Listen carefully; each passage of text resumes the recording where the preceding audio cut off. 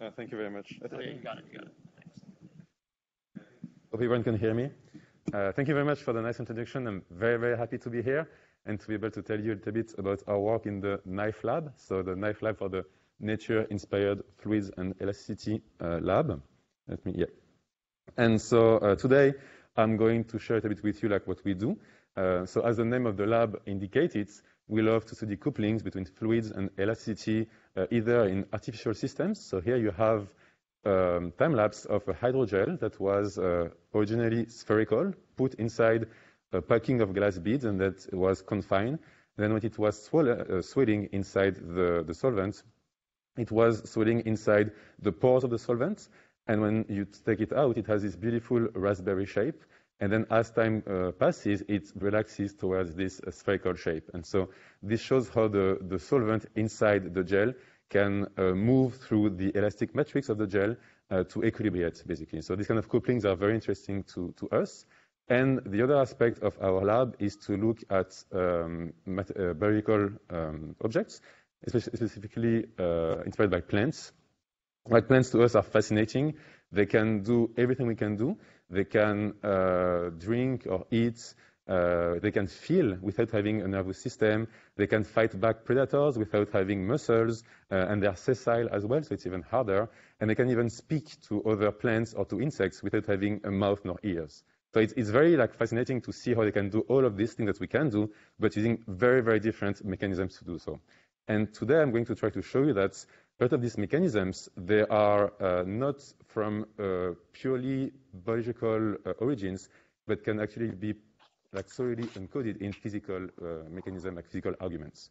And I'm going to try to um, show you how uh, us, like chemical engineers, can speak with like biologists to really uh, understand these mechanisms better to tackle two goals. One is to have a deeper contextual understanding of plant biology, but the other goal is how a chemical engineer, like as, as in terms of engineering, how we can uh, make like, use these tools uh, to address some societal uh, challenges. And uh, but before that, I'm going to tell you, uh, like to show you like, three examples that I find fascinating, and then uh, we'll go um, more towards the presentation about like real stuff that we, we did. So the first, yeah. If you want, you can take off your mask. Oh, okay, awesome. Thank you, thank you. Um, so um, I wanted to show you this first picture here. So here you see you have a Venus flytrap, um, and you have a, a, mosquito inside this trap, and you have three little hairs that maybe you can see here. And when you touch one time one hair, nothing happens. But when you touch a hair a second time, then the trap is triggered and the mosquito is gone. And this to me illustrates like a lot of beautiful, um, like fascinating features about plants. So that first they can feel what is happening around them but they don't have like a, a, a nervous system. So how can they feel like mechanical strain and uh, and react to it? And plus, like they can move very very fast, right? But they don't have muscles. So how can they move without muscles? So all these things to me are, are very very interesting. And you, if we understand better how they can do that, then we can use it for like a lot of applications in mechanosensing. So for soft robotics, for example, is a, is a big issue of soft robotics is how to to impart mechanosensing abilities to, to, to robots. The other aspects that I like to, to look at into plants is um, you can see it in this beautiful picture.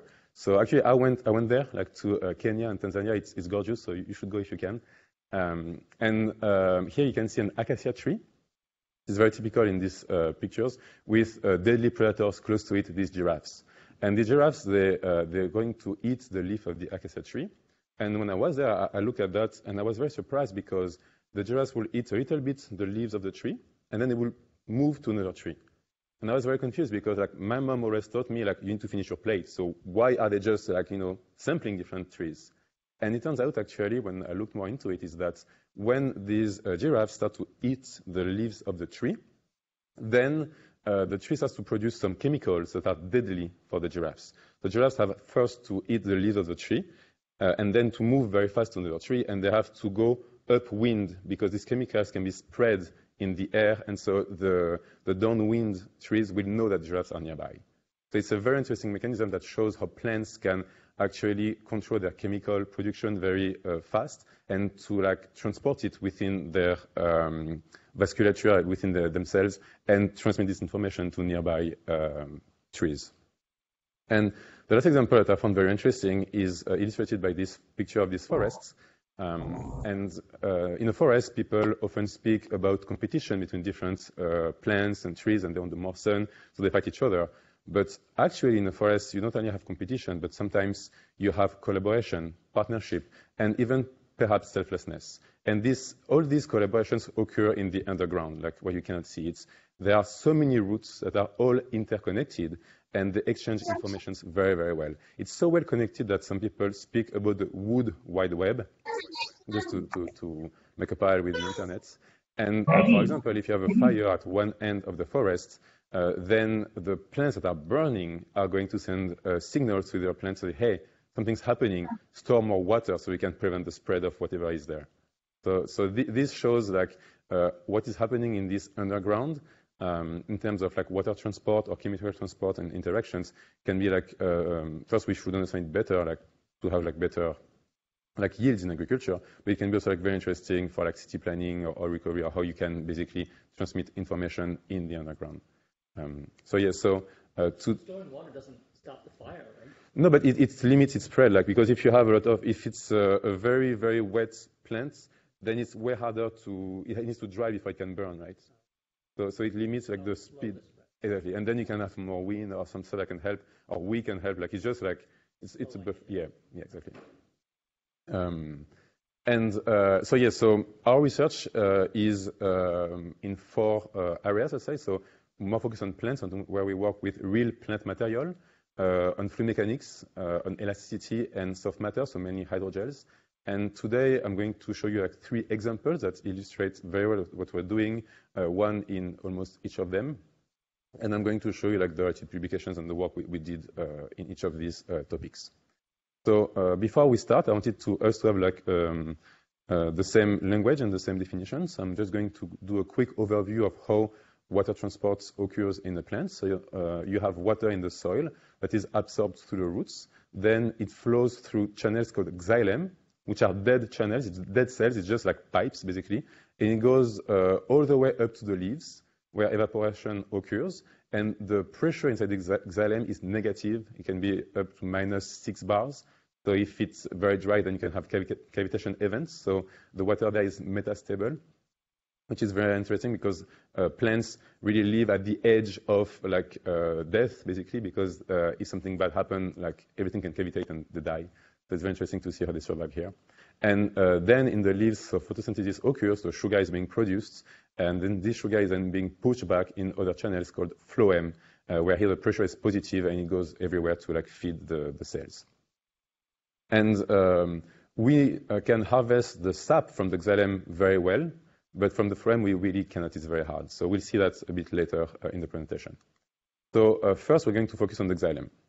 And um, then we speak about the phloem. And so this is like what I was doing during my PhD uh, on, on the, the, the, xylem.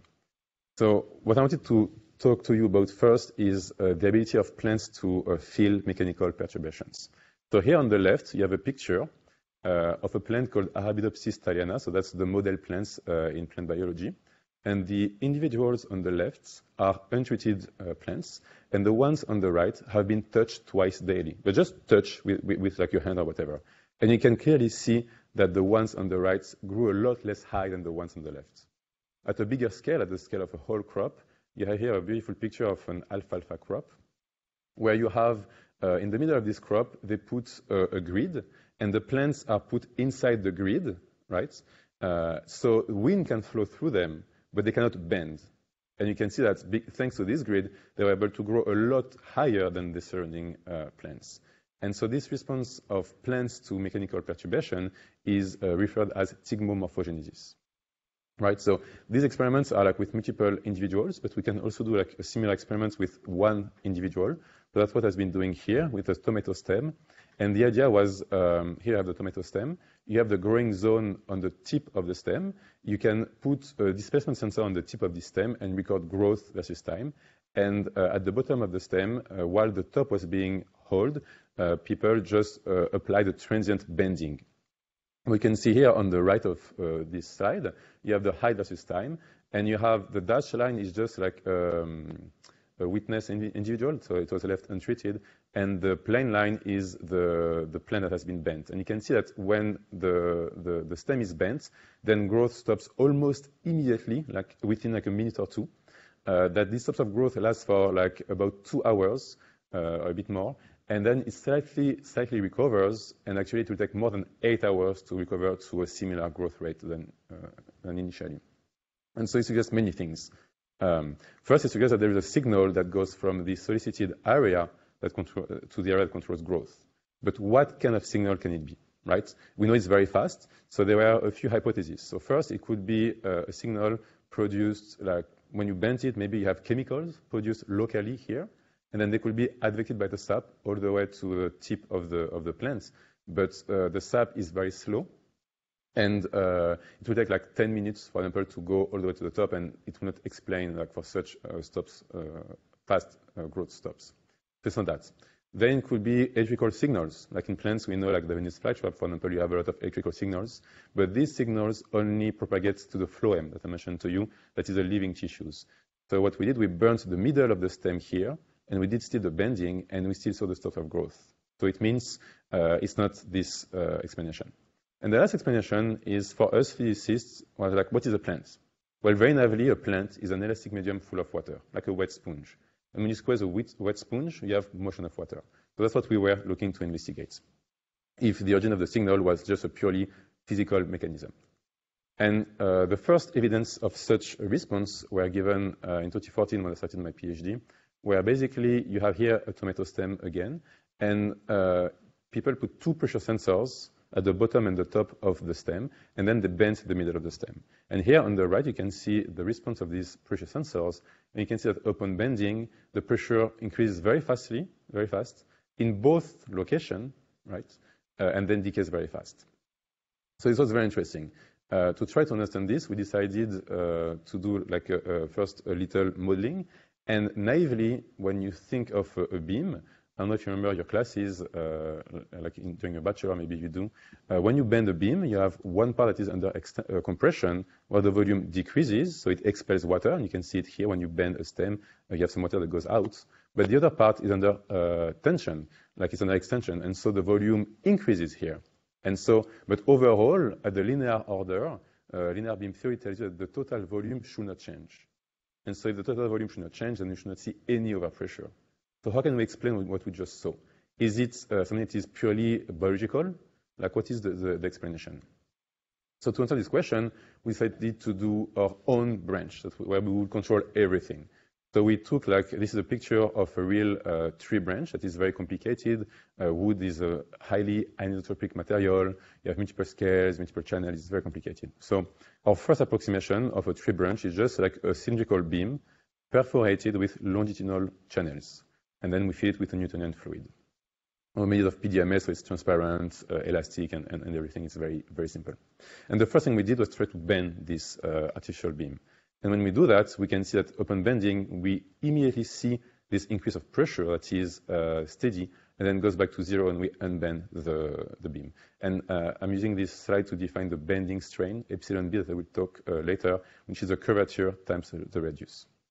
And so we can see that bending actually generates an overpressure, but uh, not only we see that, but we can see that actually when we vary the bending strain, this overpressure varies quadratically with the bending strain, which was very surprising. So how can we explain that? Because I just told you we should not see anything, right?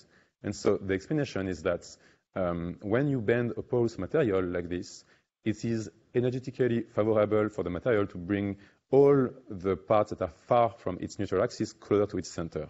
And it's like when you take a, a, a, straw and you bend it, before it buckles, it becomes like a bit oval. That's what's happening here. But because you have a fluid inside it, it cannot squeeze the, the it cannot shrink, so it increases the pressure instead. So this argument here was found in Brazier like about 100 years ago, and he was able to link the relative uh, changement of volume of the channels to the bending strain, right, with a prefactor minus one half. And uh, now if we do like a thought experiment, so we, we can decompose our experiments actually in two steps. The first step is we have the beam that is closed, full of liquid.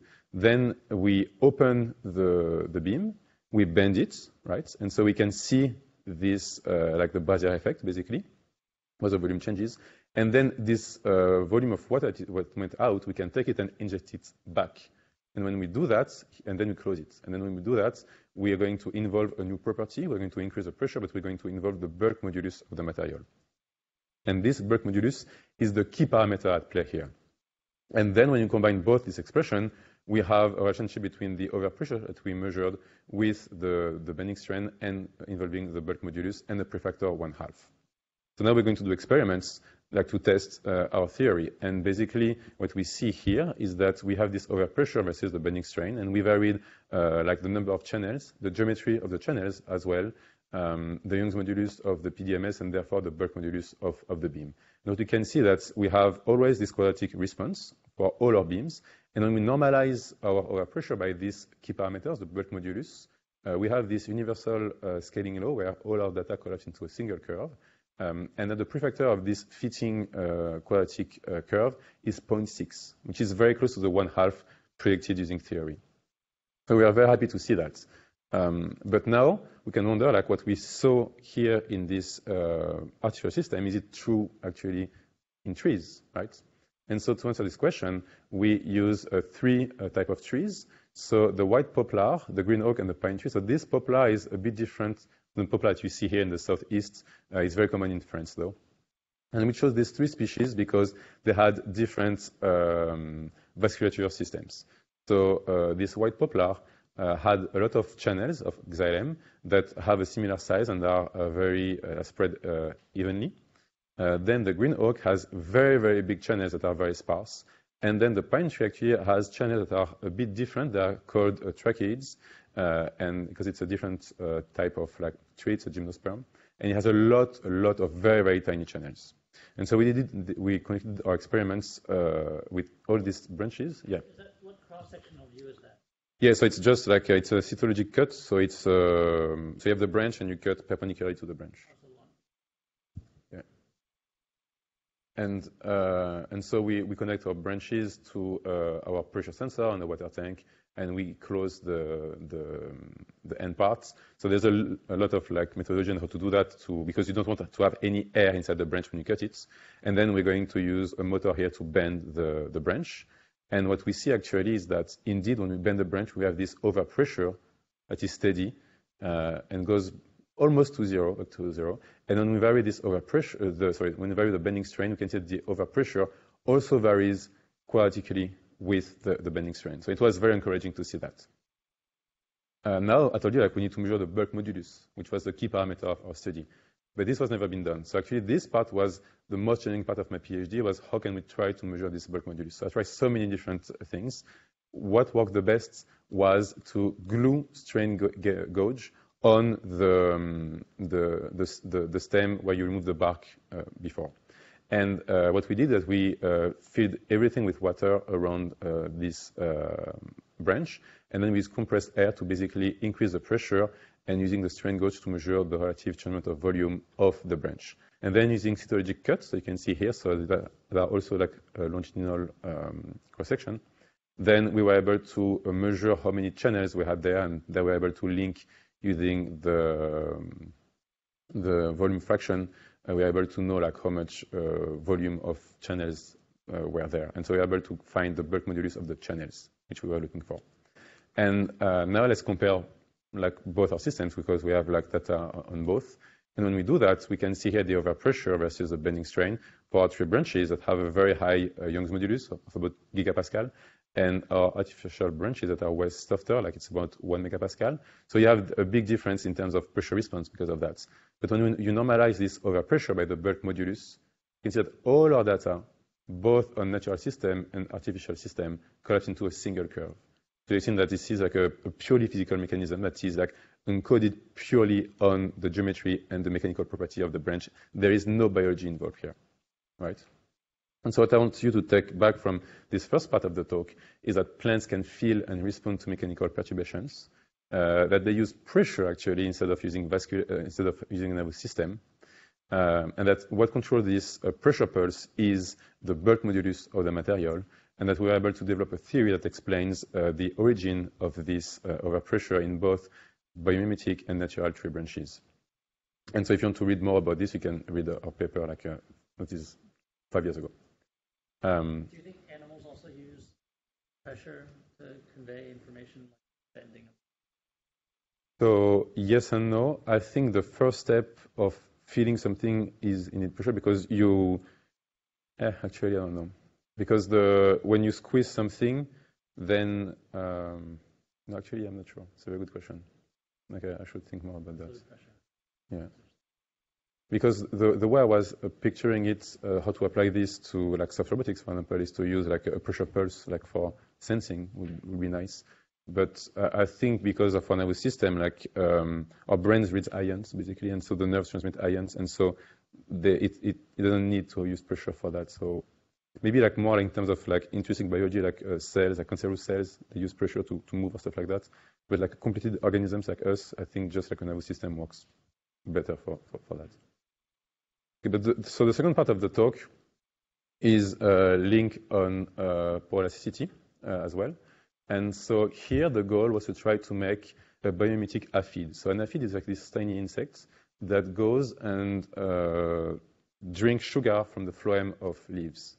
And actually, uh, this insect is way smarter than us because no one in the world has been able to extract phloem sap It's too hard because the plants love it. It's like a very precious resource for the plants.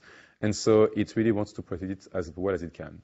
Uh, but this aphid can harvest this, this sap. And so some people tried to, to make biomimetic aphids. One way was to try to have the aphid uh, on the leaf, and then you put uh, a little tank uh, around it to uh, constrain its displacement. And then they had a laser, and when the aphid started to drink, with the laser they would uh, cut, like behead the, the, the aphid and try to see if they could extract some sugar, but they could not. So our idea here was to try to use a similar technique to try to poke like um, a phloem uh, channel uh, to try to see can you harvest this, uh, this sap. So to do that, uh, we had this setup here where you had like here a willow tree. Then we have the leaf that is upside down. Then we have like platforms and a microscope here. And the idea is that in, in, a, in a leaf, this is also like a cross-section of the, of the mid vein of the leaf. Um, depending on the species, the location of the phloem can change but it's always like proportional. So it's always located at 60%, for example, for this uh, willow tree, for the species a bit more. But so by doing a few cytology cuts, we were able to know where we should cut to find this phloem. Then using our microplatform and microcontrollers and a razor blade, we were able to cut uh, there and to uh, then try to poke uh, one of the channels. So this is what we did here. So here you can see a little uh, droplet that is going to prevent the wound response of the plant. And uh, then you have the razor blade. We are going to the good location, and then I'm going to move and then cut a thin slice of this uh, of this mid vein to be able to access the the phloem. So here we cut. Okay, and then uh, what you can see here, we made the microneedles. So look at the scale is very very tiny, and uh, we are going to poke one of these phloem elements here to try to harvest the sugar. And we're able to harvest a little bit, but look at this volume; it's very very tiny. And then uh, as soon as we're able to uh, absorb it, then the, the flow stops. So this is not enough to, to, to do like measurement on that. So we need to harvest more. So why, why is the flow stopping? That was something that was very curious about it. Um, and more than that, like, oh, sorry, let me go back. More than that, you can see I poke it, if you look at what is happening here, you can see that um, there is a motion, like whatever that is, something is like changing its direction. It was a bit weird. So I was like, oh, what is that? So this is called the sieve plate, and it looks like that here. And so it's a very porous membrane that basically separates two elements uh, inside the, the phloem. And I was very interested uh, in this sieve plate because like the, I was wondering like when I poke the, the phloem, like this, this is bending, but can it affect the flow? And then I look at this uh, structure in, in like plants and fungi, and I was wondering, oh, is it like something that is like universal? Like, can you find it not only in the phloem, but in other parts of the plants? And the re response is yes. Like you can find it here in the xylem with the intervessel pit membrane. You can find here, uh, this is a septal pore in fungi, where you have here the, the one hole, and also like in cells like with simple plasmodesmata in, in plants. And um, so I was wondering like how basically um, this bending can affect the flow, and just does it affect the flow? So to answer this question, uh, I did a similar experiment that we did uh, a few years ago where basically uh, I design a, a, block. It is transparent. I put a membrane in the middle of, between these two blocks. Uh, where I could control the thickness, the diameter of the hole, diameter of the membrane, the modulus, and everything. It is very simple, very transparent, so we could see everything and control everything. And then I inject a fluid and, and control the pressure as well. And uh, now I have a question for you, for the room. so when I increase the pressure, um, what do you think will happen to the membrane, to the hole inside the membrane? Like, so basically I have the pressure that is higher here, and then you have a flow that will go from top to bottom. And do you think the hole in the membrane will it increase, decrease, or stay constant? So we're going to do like a, a, a poll and, and, voting with raising your hands. So who think the hole is going to increase its diameter? One, two, three, four. explain that? So here I am injecting a liquid, um, and then I have this uh, membrane with a hole in the middle. Here, it's, it's a circular membrane. And the question is, when I increase the pressure here, and so to induce a flow, what will happen to the hole here? Will it stay constant? Will it uh, uh, increase its diameter? Will it shrinks? Like what the membrane will do and what will be the effect on the hole? So what do you think it will do? I'm sorry, putting you on the spot. Is it, is it a, if the plant's alive and dead, I'm guessing it'll do different things, like active response. Um, I'm also thinking it's a trick question, so I think decrease. It's a trick question indeed. Well, so decrease, okay. Okay. Someone says constant or not? No. Okay, so actually everyone is right. You're all right. It increases or decreases. So it depends on the geometry of the of the membrane. So depending on the pressure that you apply, and depending on if you have a thick or thin membrane, the hole can shrink or actually expand. And I'm going to explain that. So basically, uh, you can see here, like when you take a thick membrane, uh, originally at the beginning, that the um, the pressure will induce like the bending, with quotation marks, of the, the membrane. And as the pressure increases, will go towards the stretching regime where the hole will expand more. And so this will have an effect on the flow. When the membrane is bending, then you will have a sublinear relationship between the flow and the pressure, and you have a superlinear relationship when the hole is opening, right? So let's do our experiment, and indeed, this is what we observe. So with a thick membrane, we can see that indeed, that we increase the pressure, the flow varies sublinearly, and with a thin membrane, it's deposited varies superlinearly right? Um, and we can do a bit more than that. We can actually uh, quantify the strain in the hole and in the membrane. And so here we uh, measured the radius of the hole for different pressure, with P being the characteristic pressure in our system. So it's just the Young's modulus times the thickness of the power 4 divided by the radius of the power 4 of the, of the membrane. We can see that uh, in red, so all the points here are uh, data points, and all the lines are, um, are theoretical predictions without free parameters. And you can see that uh, uh, when you have a thick membrane here of 6.7 millimeters, then the radius of the hole is shrinking, reducing. And then we go inside this intermediate regime here, that is between 5 and 10 of delta P over P, which is given by another paper where they, they were looking at the, the, the, the bending of membranes. And you can see that after that, like it goes up back. So you have the bending and then stretching. And then if you have a thin membrane, you only have these stretching parts, right? And you can see that the radius can really go like the, the, the radius like two times higher than what it is originally. And then we can uh, compare all of mem our membranes that have different thickness by plotting the strain times the radius or the thickness square. And you can see you have this beautiful curve where basically you can see like this bending regime where the hole is shrinking. Then we go in this intermediate regime where it's going back up, and then it goes into, towards this stretching regime where it's just increasing a lot, right? But what matters to us the most is actually the relationship with the flow. So if we assume a Poiseuille flow, then we can inject the, the equation we have for the radius inside this hydraulic resistance uh, in both the bending and stretching regime. And you can see that uh, you're in the bending regime, the, the hydraulic resistance is increasing. Uh, and here um, you can see the same thing. And note that the white points, like they go down after the when you get out of this intermediate regime.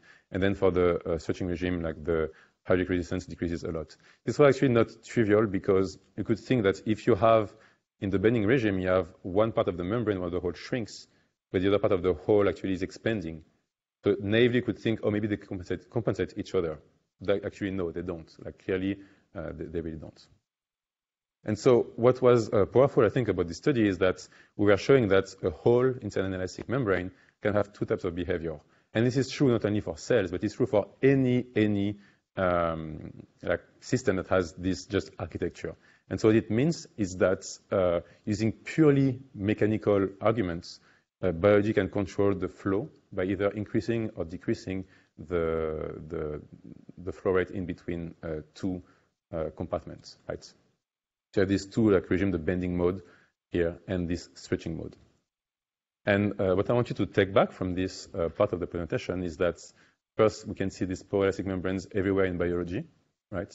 That small deformation constrict the pore, while large deformation really stretch the pore, and that this pore size modification really change drastically the flow. And that uh, here, uh, it means that biology can use only like physical arguments to control finally what is the, the flow uh, inside the, these channels and, and the idea that later on to be able to leverage these abilities for like chemical engineering to be able, for example, to have like passive control of like mixing or, or stuff like that. And you can read more about the study in this paper here. And uh, lastly, the, the third part is about hydrogels. That was what I was doing with Sujit Datta at Princeton. And um, I told you a lot about the trees, right? But now I want to focus more at what happens in the soil. So uh, recently, hydrogels have been used as water reservoirs in the soil.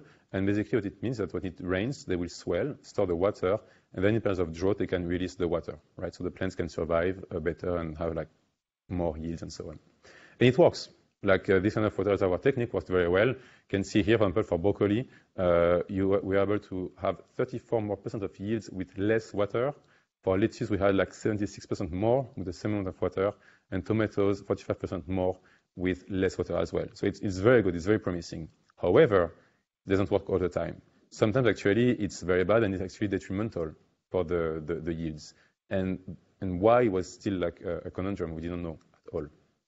And uh, interestingly, um, some recent experiments have shown that when you put a hydrogel inside uh, a soil, um, the, it swells a lot less, even though if the load that you apply is just like one, two, or three centimeters of soil depth. So just a little bit has a, uh, of, of, pressure on, on the, the, gel has a huge effect on its swelling ability, right? So let's try to understand that. To try to understand that, we design our own artificial, artificial soil. So here you have a pack of glass beads, right? And in the middle you have a, a hydrogel. And by using uh, an index match solvent, we should we will be able to observe the swelling of this hydrogel. Then we can apply on top like um, a load, and we can vary how much pressure we want to apply to vary like how deep we put the gel. What you can see here, you have uh, a gel that is swelling uh, with almost no loads. And you can see that it stays, uh, like the sphericity stays constant, like it's uh, still a sphere, and it swells a lot by uh, about four times its original size. And when you apply a huge load of 22 kilopascal, you can see here that the shape changes a lot. It's not circular anymore, and it swells a lot less, like by, by about half.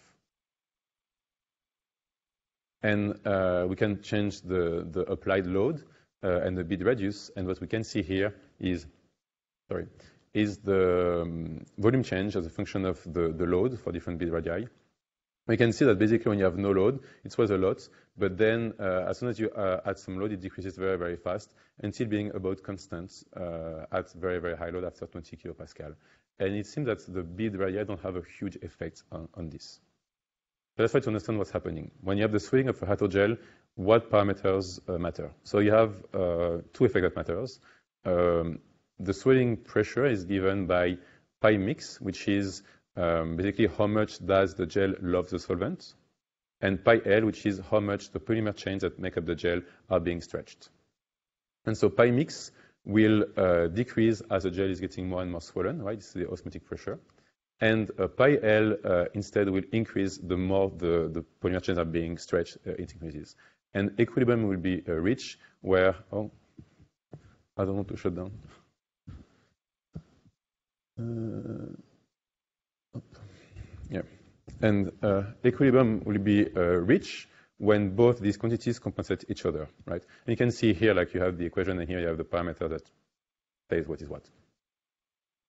And um, so now if you add a pressure on top of it, you have this swelling force that is uh, fighting something else. It's fighting this confining force that is basically uh, this uh, applied pressure, sigma, times the, the area of uh, one bead, so RB square, and the force the gel uh, exerts on one bead is given by uh, this swelling force, swelling pressure, times the contact area between the gel and the bead. And this contact area, A, is given by contact mechanics here.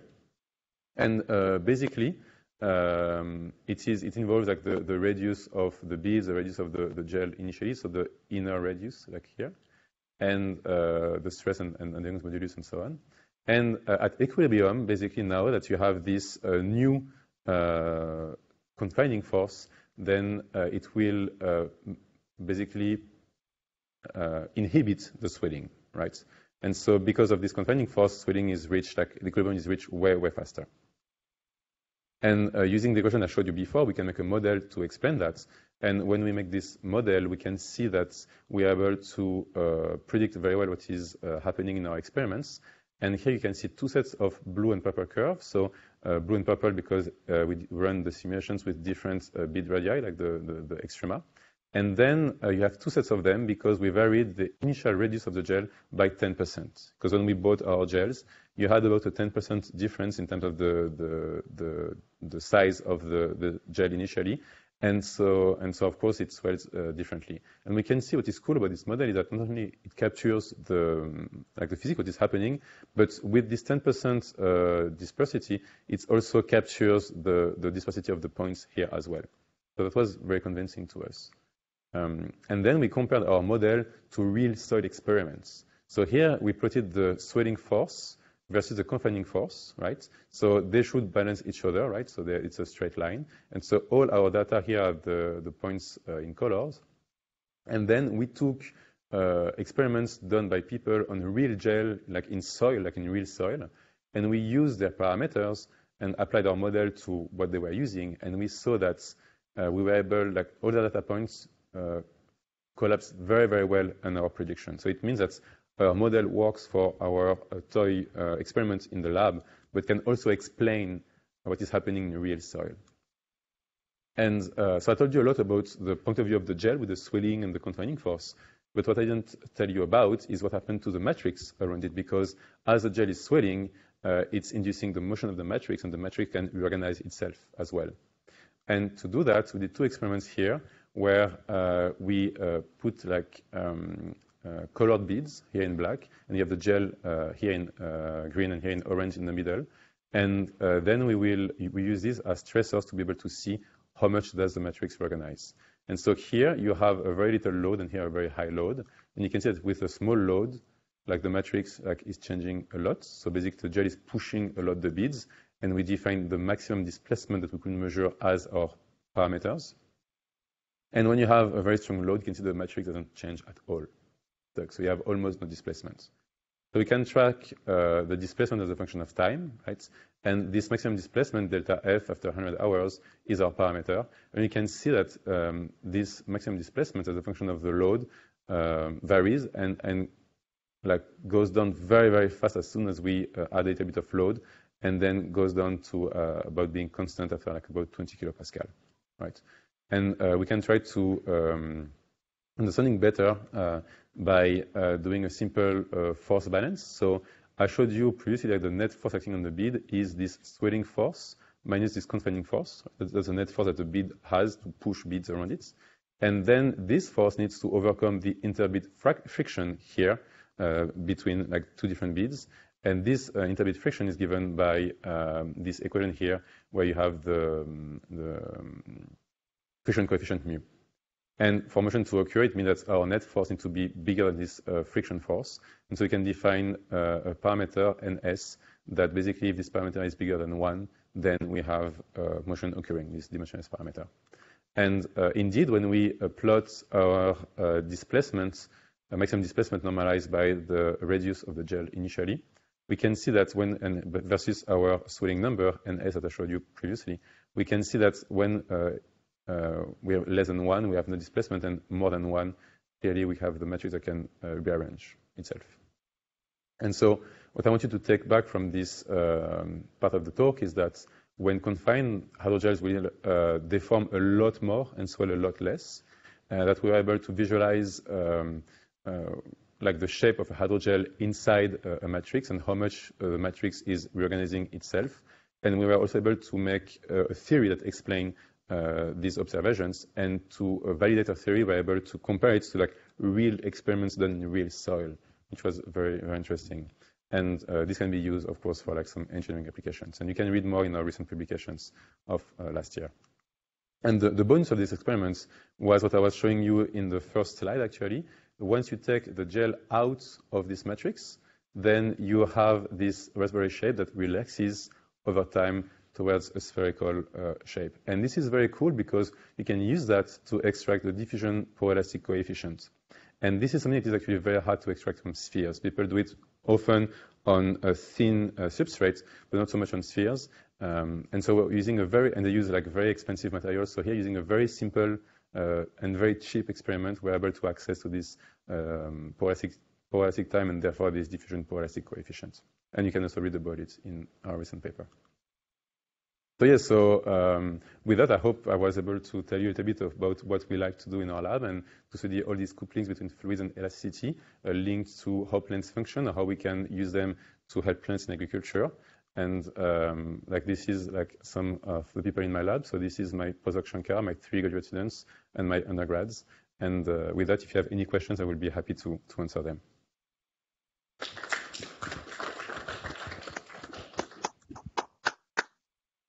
Yes. What is the hydrogel name?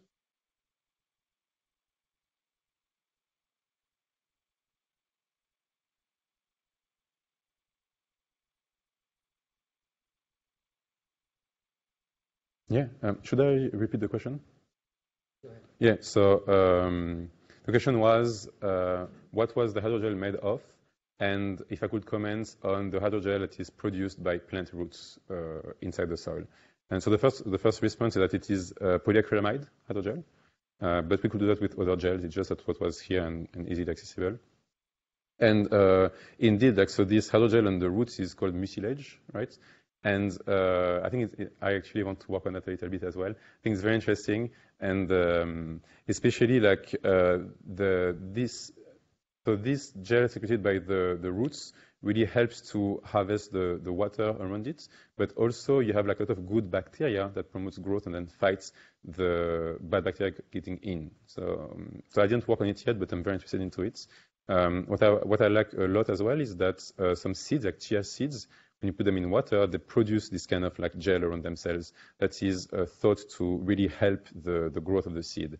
And um, there have been some experiments to make a hydrogel coating around these kind of seeds.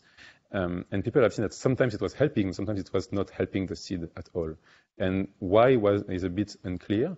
Um, there were like there is a recent paper in uh, Nature Food that I think you will like, where they were uh, basically showing that uh, they were using a new type of hydrogels to to coat the seed, and they were putting a lot of good bacteria and, and water and so on, and they were able to see that it was really helping a lot to fight drought events. But um, but at the same time, it provides a buffer zone. So basically, like in terms of responding to your environment, it can be a bit tricky because you have uh, the water needs to go to the gel and then to the seeds. So um, because you know, like to germinate, seeds have to know. Like it, it's incredible. Like they all germinate at the same time, like very very fast, right? And they have to know when is this optimal time right? And so having this hydrogel can alter a little bit this uh, notion of when to germinate, which can be interesting. So um, the honest answer is I don't know, but the, the interesting answer is that uh, I think there are a lot of cool things happening with these gels, and that's actually one of uh, my research topics in my lab that I want to investigate more. Thank you. Yes. Uh, yeah. How do we ask questions? Where's my raise my hand? In animals, no, and, and also in, in your plants, you have these tubes, no? I, I, I'm imagining some worms, no, like uh, the moths or, or nematodes or something like that. And when they are bending, they, they use this bending for jumping. So they are increasing in some way the, the pressure in, internally. For example, nematodes, they have an internal pressure, like uh, one atmosphere. Okay. They are like a bal- uh, water balloons. Uh, but one one of, of uh, difference with plants is the scale. No, these these things are very tiny, like a one one millimeter in size, and, and the diameter is, is too tiny. Okay. So I don't know if the scale, because this deformation is interesting. I don't know if it's universal. If they are oval, as you said. If if you are uh, doing in, in, a balloon, it will become oval, no? In some way, you increase the pressure, mm-hmm. and, and, that can help to for these worms to jump. So I was wondering if this uh, depends of the scale. Now, if you are small, small, small, and the porosity, there is not so much porosity, for example, in animal, in these animals, no? It's more, more, more or less water inside. So can we expect that this deformation happens at that, those scales or, or no? Okay. So the question is basically, um, is this uh, modification in pressure due to uh, the bending of a beam, is it universal or scale dependent, right? Um, I think the response is that it's universal. Basically, like when you take a straw, which is like, like you know, like 10 inches, uh, and you bend it, before it buckles, you can see this uh, oval like being squeezed a little bit more. The xylem channels here are actually very tiny in the plants. Like they are like uh, microns, like tens of, or maybe hundreds max of microns. And so in this um, worm you were describing, I am assuming you can see it. Um, I don't know because if it's very soft, maybe this modification in pressure, this overpressure is maybe very tiny because you can see like it's uh, the pressure is the bulk modulus times the relative change of the volume. So this relative change of the volume, you probably have it. But uh, if it's very soft, the bulk modulus will be like very, very low, and so this overpressure may be like very, very low.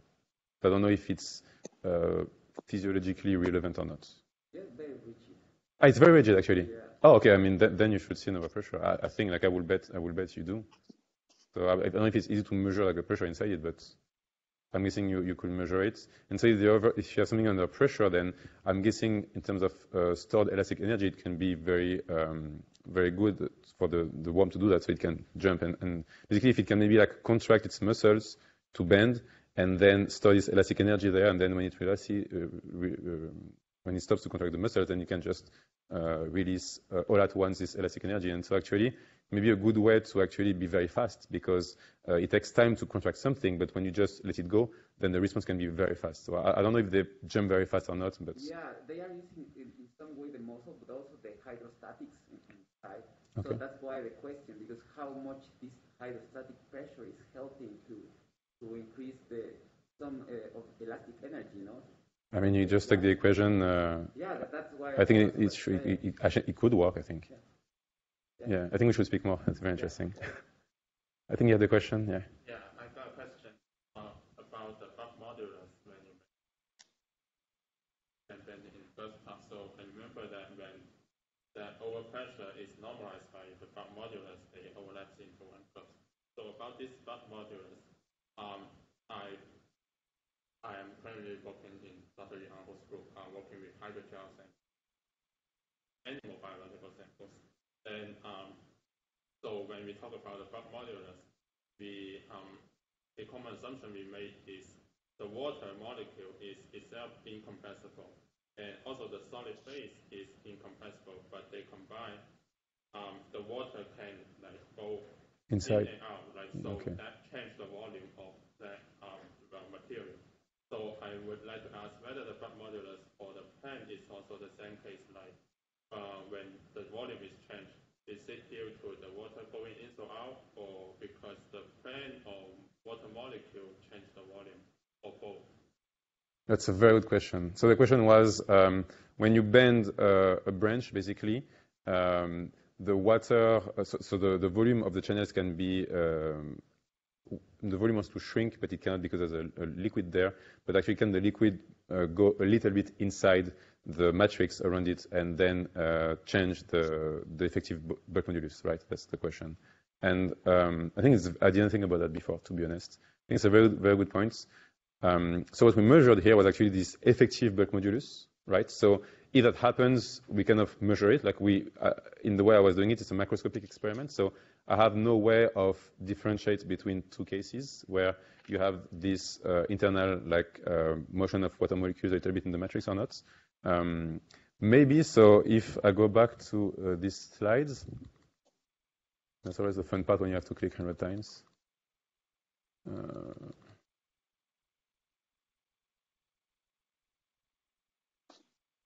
So yeah, may, maybe this could actually explain a little bit what we see here. So for example, uh, in our artificial system, uh, what, I, what was very interesting to me is that when you bend the, the beam, you see like the, the, the time between when you bend and when the pressure is steady is very short, right? It's less than a second, and it is given by the poroelastic time, right? But when you go on trees, and this actually varied a little bit between samples, uh, this time here is way longer, right? But the time here is super long actually, right? And so maybe it explains that actually there is some motion of water indeed that is occurring there. Um, I was thinking so because like uh, uh, xylem, they have um, pores that are like on their walls as well for water transport, like laterally as well. So this can explain that. Uh, so actually, when you squeeze it, so I was squeezing it underwater, so some of the water may go out a little bit, and then when I embed it, maybe it wants to get back in, but it takes time or it's not working so well, so it's not going back to zero. I don't know. Um, but yeah, I think it's it's a very good, uh, very good uh, direction of, of, research, and uh, I think you're probably right. Can I ask yes. a question from out here in the ether? Can you hear me? Or not. I don't know. I don't know how this works from asking questions from outside. Can you hear me? Okay, so the question is why do plants that uh, feel something like a, a, pressure or mechanical deformation, why do they grow smaller? So it's a very good question. Um, so basically, uh, plants can grow a given amount of mass, of biomass, right? And then, uh, let's say within a day or a year or whatever, they, they produce a given amount of mass. And then they can allocate this mass to different parts. So they can say, oh, I want to grow taller to have more like sun. I want to have more leaves to be able to do more photosynthesis or I can grow more roots to have more water or better anchorage, or I can go thicker to have a better resistance to like wind. And so what's happening here is that when you brush them, you're telling them, oh, be careful, you have like a very, very strong um, wind event, and so you could die and being taken away from the soil. So instead of growing higher, what they do is they grow thicker to resist bending of the wind better, and they grow more roots to be like better anchored. So they want to resist to this um, external stimuli to, to survive, basically. Um, what is also like very interesting, I think, that if you touch them two times, you see this. But then if you touch, touch them every day 20 times, you don't see anything, right? Kind of funny, right? And what it means is, it, and it's normal because like if you see outside and you see the plants that are, you have wind that occurs all the time. So what I just told you is that actually, if you have just a little bit of wind, they should stop growing, but they actually grow. So something is different. And so what is different is that if they have like uh, experienced this kind of bending and they are used to it, they're like, oh, okay, it's, it's not too bad. Like, uh, I can survive with that, so I can keep growing. It's fine. But then if you have one extreme event that is a bit rare, and you're like, oh, something bad is happening, I need to be prepared for that. So th- that's why you see this difference here.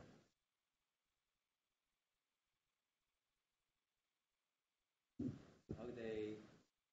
How do they know? Yeah. yeah, no. So, so the question is like, how do plants know to do that? So that, that, that's that, that's uh, to me the beauty of it is that they don't uh, think the way we do, but they can do like a lot of, of what we do uh, using like passive physical mechanisms, like from my point of view. And uh, so, as I told you, like the idea is that so if my, uh, I was showing you an example, like if um, you, you, you bend this part, then you have a response like far from where you bend it. So here you have the, the growth response, right? And so it's just like physically, you have a pressure pulse that is produced right? And so this pressure pulse tells the cells here something's happening. So basically, the, the pressure pulse goes to the growing zone here. Uh, so you have water getting inside the, the cells here. So the cells then expands. This opens mechanosensitive channels that releases ions, right? That basically uh, inhibit growth, right? And the question is, how can you differentiate one single event from a lot of uh, uh small events? So the idea is that basically, depending on how um, big is this pressure pulse so how big, how big is the strain? Like the, the response will change, and so the swelling of these cells will change, and they will probably release more or less ions. And my hunch, and I'm, we don't know about that, but my hunch is that there is kind of, kind of a threshold, like a function that says, oh, if it's just a little bit of ions, uh, then I, I don't care, I don't respond to that. But if it's higher, then you have this uh, growth stop. That has a question. Um, has a question online.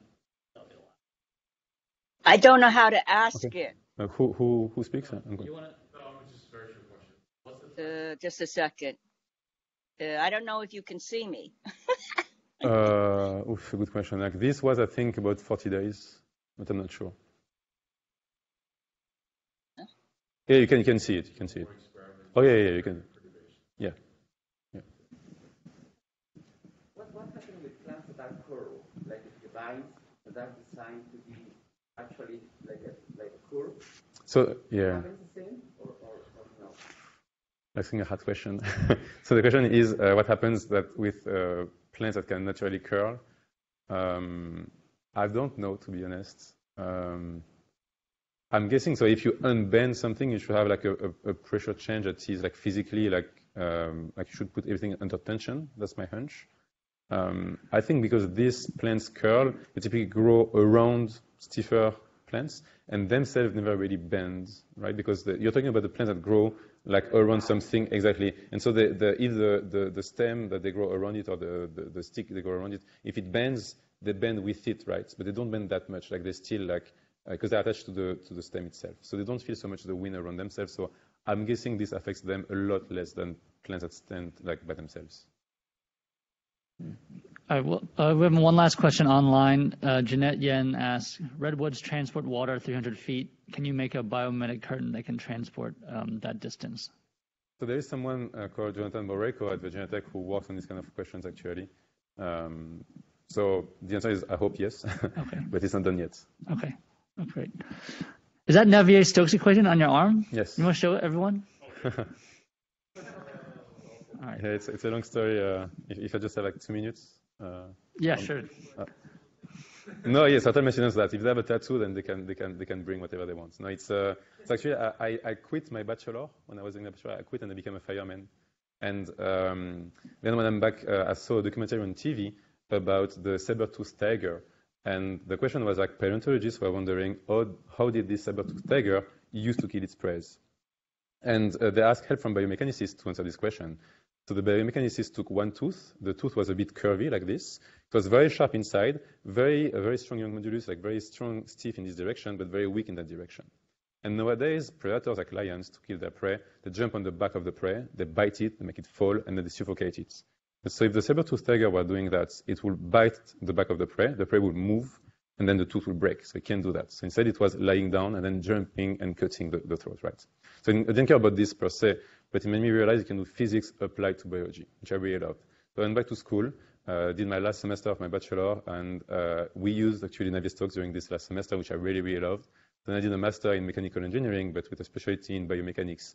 And I was looking at the flow of blood and, and also like uh, in the um, in your brain. And so it was a lot of fluid mechanics and Navier-Stokes again. And then I did my PhD with Yoël Forterre on how plants can uh, move without muscles, basically, uh, on the, or, or feel. And it was also a lot of fluid mechanics, and I actually did a lot of Navier-Stokes there as well. I was like, okay, like when I got my PhD, Navier-Stokes has been a big part of, of me since I went back to school, so I wanted to have it as literally a, a part of me. So that's why I made the, the tattoo. Okay, excellent. Thank you. Thank you. Thank uh, Louf.